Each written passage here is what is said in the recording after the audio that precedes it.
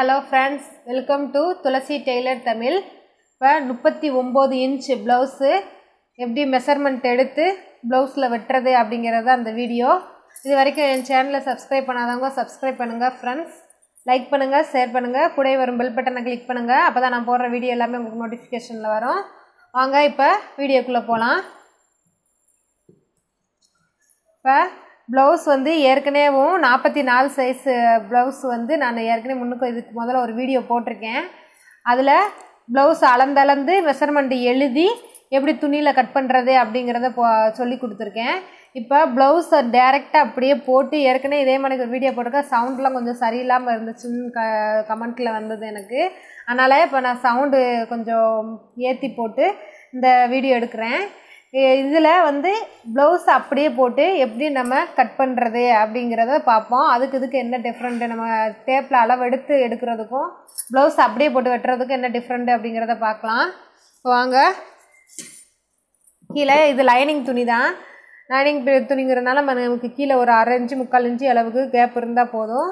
இப்போ அதை மார்க் பண்ணிக்கலாம். அடித்து திருப்புறதுக்காண்டி தான் தேவைப்படும் நமக்கு. அந்த இடத்துல மார்க் பண்ணிவிட்டு இப்போ ப்ளவுஸை அந்த இடத்துல கரெக்டாக போட்டுக்கோங்க. நம்ம அந்த மார்க் பண்ணதுக்கு இடத்துக்கு மேலே போட்டுக்கோங்க. இந்த ப்ளவுஸை போடுறதுல தான் நமக்கு இருக்குது அளவு கரெக்டாக வர்றது. நமக்கு அளவு மாற்றமாகிறதும். ப்ளவுஸை போடும்போது நல்லா கொஞ்சம் ப்ளவுஸ் அயன் பண்ணிக்கோங்க. அயன் பண்ணிவிட்டு கரெக்டாக இப்படி நான் போட்டிருக்க மணிக்கு எடுத்து போட்டுக்கோங்க. நீங்கள் ஃப்ரண்ட் சைடு மேலே இருக்கிற மணிக்கு போட்டுக்கிட்டிங்கன்னா உங்களுக்கு ஈஸியாக இருக்கும். இப்படி இந்த வாக்கில் நம்ம மடிக்கும்போது நமக்கு கொஞ்சம் அளவு மாறுற மாதிரிக்கு இருக்கும். இப்படி போட்டிங்கன்னா உங்களுக்கு கழுத்து வரைகிறதெல்லாம் உங்களுக்கு ஈஸியாக இருக்கும். மார்க் பண்ணுறதுக்கு நமக்கு எந்த சிரமம் இல்லாமல் இருக்கும். இப்போ இந்த ப்ளவுஸை கரெக்டாக போட்டுட்டு ஷோல்டரெல்லாம் கரெக்டாக நேராக எடுத்துகிட்டு கழுத்து அகலம்லாம் இப்படி வளைஞ்சிராமல் கரெக்டாக இந்த இடத்துல கீழே இப்படி அழுத்தி ஒரு வரல பிடிச்சிக்கோங்க. இப்படி நல்லா பிடிச்சிட்டு இப்படி போட்டிங்கன்னா உங்களுக்கு எல்லா அளவும் கரெக்டாக நச்சுன்னு வந்துடும் இப்போ அதை அளந்துக்கலாம். முதல்ல கழுத்துங்கனக்குள்ளே எவ்வளோ இதுன்ட்டு மார்க் பண்ணிக்கோங்க. இப்போ கழுத்து அகலத்தை மார்க் பண்ணிக்கலாம் ஷோல்டர் மார்க் பண்ணிக்கலாம்.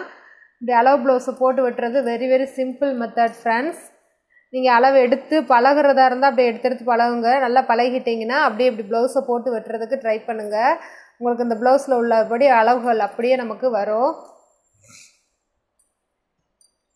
கீழே அதே மாதிரி இடுப்பையும் மார்க் பண்ணிக்கலாம். இப்போ இதை ஃபுல்லாக ஒரு மார்க் மட்டும் பண்ணிவிட்டு நம்ம என்ன செய்யணும்னா டேப்பில் என்னென்ன அளவு இருக்குன்னு சொல்லி நம்ம நோட்டில் அதுக்கப்புறம் மெஷர்மெண்ட் எடுத்து எழுதி வச்சுக்கலாம்.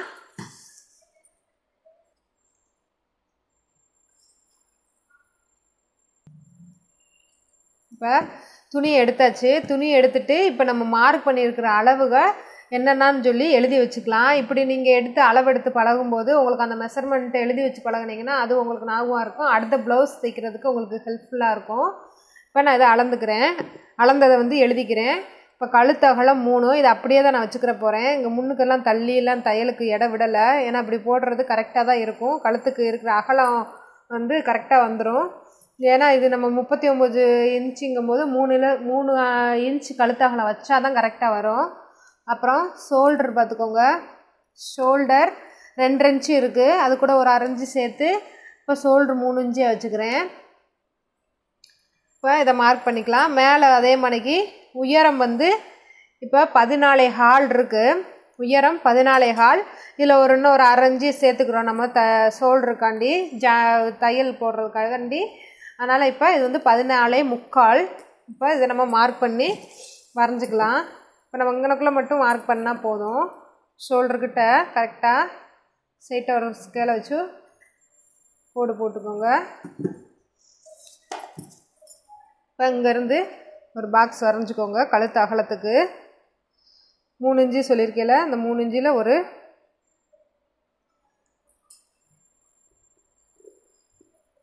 மார்க் பண்ணி இந்த நம்ம கழுத்து இது கீழே குறித்து வச்சுருக்கோம். அந்த அளவுக்கு மார்க் பண்ணிக்கலாம். அதே மாதிரிக்கு இங்கே இது கரெக்டான அளவு. இதிலேருந்து நம்ம இப்போ ஷோல்டருக்காண்டி அரைஞ்சி தள்ளி வச்சுருக்கோம்ல கை ஜாயின் பண்ணுறதுக்காண்டி ஷோல்டரில் அதை மார்க் பண்ணிக்கலாம்.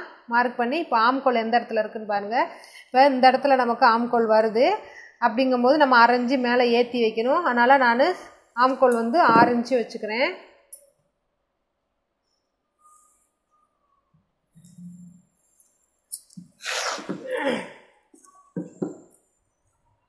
இப்போ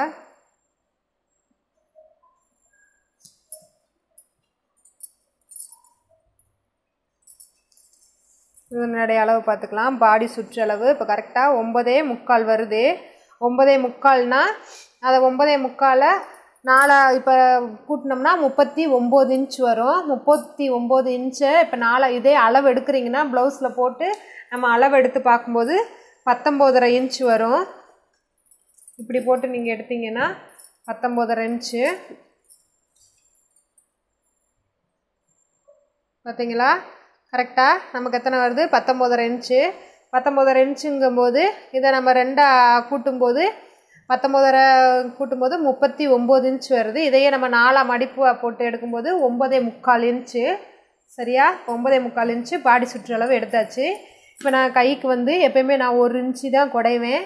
ஒரு இன்ச்சு மார்க் பண்ணிக்கோங்க. மேலேருந்து ஒரு ரெண்டு இன்ச்சு மார்க் பண்ணி அந்த ரவுண்டு கரெக்டாக வர்றதுக்காண்டி இப்போ இங்கேருந்து இப்படி இப்படி வளைவு போட்டிங்கன்னா அந்த ஷேஃப் வந்து நமக்கு கரெக்டாக வரும். ரவுண்ட் ஷேஃபு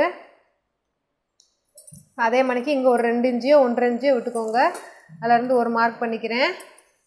அதே மணிக்கு இங்கே கழுத்து மூணு இன்ச்சு இருக்கான்னு செக் பண்ணிக்கோங்க. கோடு போட்டதில் கிராஸ் ஆகிருக்கும் கரெக்டாக இருக்குது இவங்க வந்து பாக்கழுத்து தான் போடுறாங்க. பாக்கழுத்துங்கும்போது இங்கேருந்து கிராஸ் அந்த மேலேருந்து கீழே ஒரு அரைஞ்சி முக்கால் இன்ச்சுக்கு கேப்பிட்டு நான் என்ன செய்வேன்னா இங்கேருந்து அப்படியே கிராஸாக ஜாயின் பண்ணி விட்டுருவேன் மேலே ஷோல்டரில் அவ்வளோதான் நமக்கு பாக்கழுத்து ரெடி ஆயிடுச்சு பாருங்கள் ஃப்ரெண்ட்ஸ் இவங்க பாக்கழுத்து அகலமாக தான் போடுவாங்க.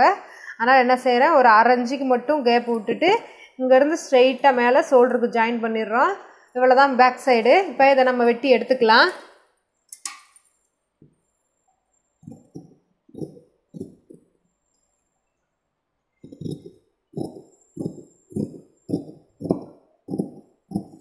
நீங்கள் கு இது ப்ளவுஸை போட்டு வெட்டுறதுக்கே பாருங்கள் அளவெடுத்து நீங்கள் பழகி பாருங்கள் சும்மா அளவெடுத்து இப்போ நோட்டில் மெஷர்மெண்ட் எடுத்து வச்சுக்கோங்க. மற்றபடி இப்படி ப்ளவுஸை போட்டு வெட்டினீங்கன்னா உங்களுக்கு அந்த ஜாக்கெட் வந்து பெர்ஃபெக்டாக அமையும். இப்போ அளவு ப்ளவுஸ் இல்லாதவங்களுக்கு வேணால் நம்ம மெஷர்மெண்ட் எடுத்து இது பண்ணலாம். அளவு ப்ளவுஸ் இருக்கிற பட்சத்தில் நம்ம அதை வச்சே அவங்களுக்கு எப்படி கரெக்டாக தைக்கிறதுங்கிறத நம்ம பழகிக்கிட்டோம்னா அடுத்த அளவு இல்லாதவங்களுக்கு நம்ம தைக்கும்போது அளவு ப்ளவுஸ் இல்லாமல் மெஷர்மெண்ட் எடுத்து தைக்கும்போது இந்த இப்படி நம்ம எடுத்து பழகின அளவுகள் வந்து நமக்கு யூஸ்ஃபுல்லாக இருக்கும். இப்போ நம்ம இந்த வெட்டின அடையாளத்துக்கு மார்க் பண்ணிக்கலாம். எங்கன தையல் வருங்கிறதுக்கு. கீழே அது மணிக்கு அடித்து திருப்புறது வெட்டியிருக்கோம்ல அதை வெட்டி எடுத்துக்கிறேன். இப்போ இந்த அளவு பாடி சுற்றளவு நமக்கு எத்தனை இருக்குது முப்பத்தி ஒம்பது இன்ச்சு அதை நாலாக போடும்போது நமக்கு எவ்வளோ வருதுன்னா ஒம்பதே முக்கால் இன்ச் வருது. உயரம் வந்து பதினாலே ஹால் இருந்துச்சு. பதினாலே ஹால் ப்ளஸ் ஒரு அரைஞ்சி ஷோல்டரில் ஜாயின் பண்ணுறதுக்காண்டி கீழே ஒரு அரைஞ்சி பட்டி. இது லைனிங் துணிங்கிறதுனால பட்டிக்கு வந்து அரைஞ்சி மட்டும் விட்டுருக்கேன். இப்போ கழுத்தகலம் நமக்கு மூணு இன்ச்சு எடுத்திருக்கேன். இப்போ ஷோல்ட்ரு வந்து ரெண்டு இன்ச்சு ப்ளஸ் ஒரு அரைஞ்சு டோட்டலாக மூணு இன்ச்சு. கையாளம் ஆறு இன்ச் எடுத்திருக்கேன். இப்போ வாங்க அடுத்து ஸ்லீவ் எப்படி எடுக்கிறதுங்கிறத பார்த்துடலாம் ஸ்லீவுக்கு எப்பயுமேவும் இப்படி நாலாக ஃபோல்ட் பண்ணிக்கோங்க.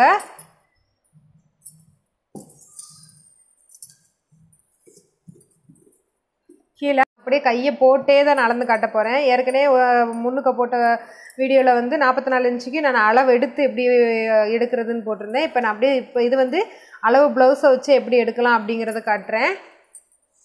ஃபஸ்ட்டு வந்து இந்த முன்கை சுற்றளவை மார்க் பண்ணிக்கோங்க.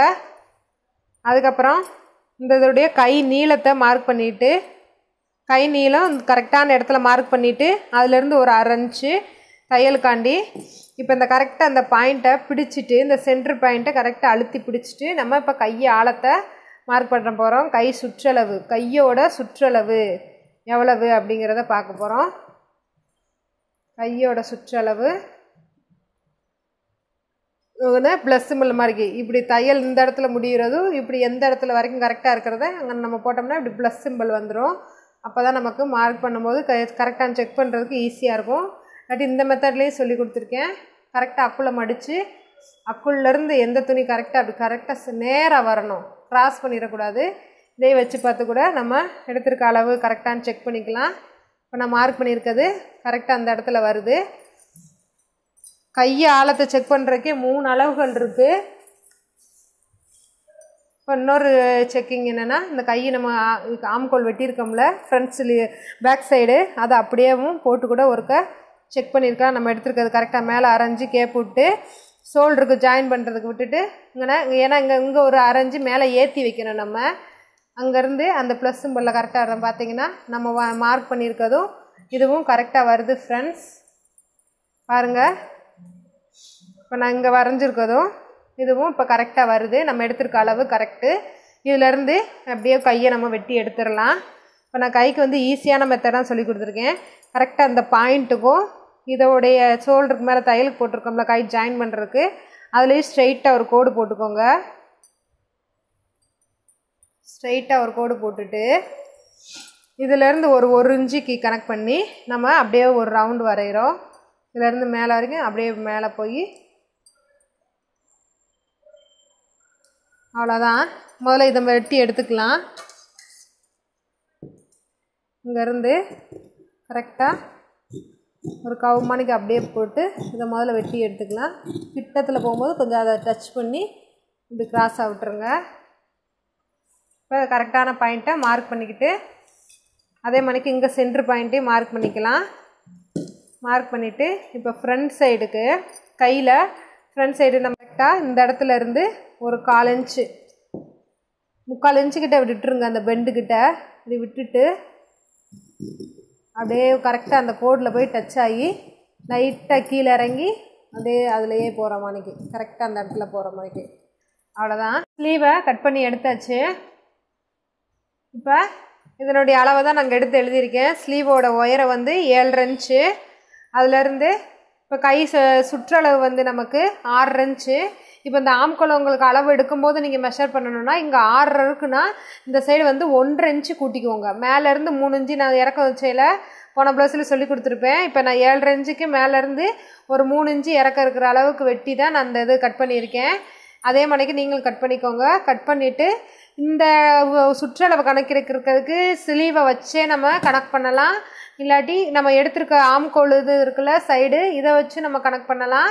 அப்படியே இல்லை நான் அளவு மெஷர்மெண்ட் பண்ணி தான் நான் கணக்கெடுக்கணும் அப்படின்னீங்கன்னா இப்போ இங்கே நம்ம ஆறு இன்ச்சு வச்சுருக்கோம்னா ஆறு இன்ச்சியோட ஒன்றரை இன்ச்சு கூட்டிக்கோங்க எட்டு இன்ச்சு வரும்.